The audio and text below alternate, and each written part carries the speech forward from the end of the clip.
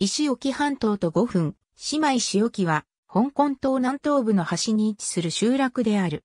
行政区は、南区に属する。車の交通は石沖道ただ一つしかなく、鉄道はない。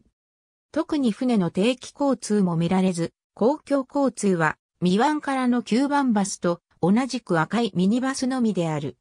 高層住宅は見られず、石沖村と呼ばれ、香港の深海によく見られる村の住宅地の様相を見せている。言い換えれば、低層住宅が並ぶ区域である。深海にあるような香港特有の村落がある一方、西洋風の高級な住宅も海辺の高台に並んでいる。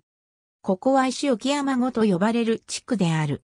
ここは石、大江灘と呼ばれるビーチがあり、その広さと美しさから夏場は多くの香港人で賑わう。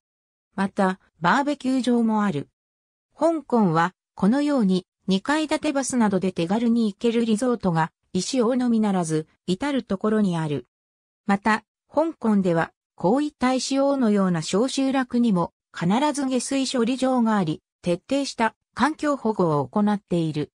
ビーチだけではなく、ゴルフ場もあり、さらに流星とセックオーピークのようなハイキングコースもあり、香港島有数のリゾート地の一つとして知られる。ありがとうございます。